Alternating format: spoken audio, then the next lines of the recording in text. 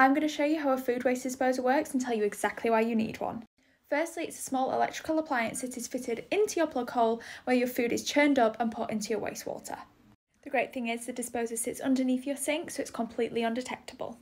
There are absolutely no blades in the InSinkErator, which means you can push the food down safely with your hands. When the tap and the InSinkErator are on, the food is all churned up.